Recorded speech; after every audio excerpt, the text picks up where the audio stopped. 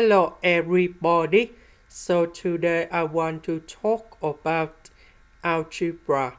The topic that is about inequality. So now I want to show you how to answer. We need to find the value of s to make sure that this one is greater than or equals to number 0. So now I will show you how to answer.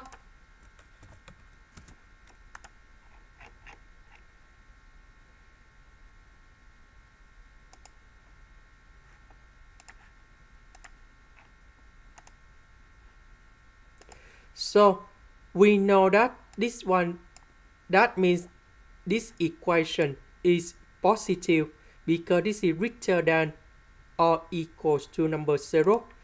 If we consider about this one, we can say that 4 minus s to the power of 10, number 10, that is about even number. So the power with even number, you always got the positive number. This one that is about the absolute value. The value inside the absolute value, they always provide the positive number. So we just have only this one. This is about the odd number. So about the odd number, if this one 3 minus s is greater than or equal to number 0, so this one they provide a positive number. However, 3 minus s smaller than number 0, they will provide the negative number when the power is about odd number in here.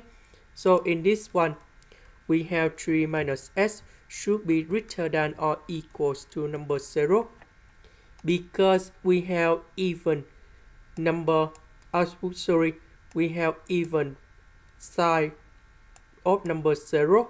That means 4 minus s equals to number 0 and 2 minus s equals to number 0.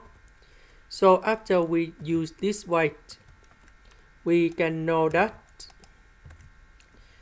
if we put negative s go to the right, we have number 3 is greater than or equals to s. So this one, we find s equals to number 4 and s equals to number 2. So because 3 is greater than or equal to s, so this one belong to this one in here. So in this situation, we can write like this.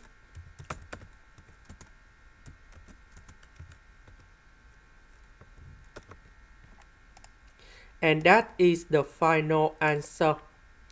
This is the end. Thank you for watching.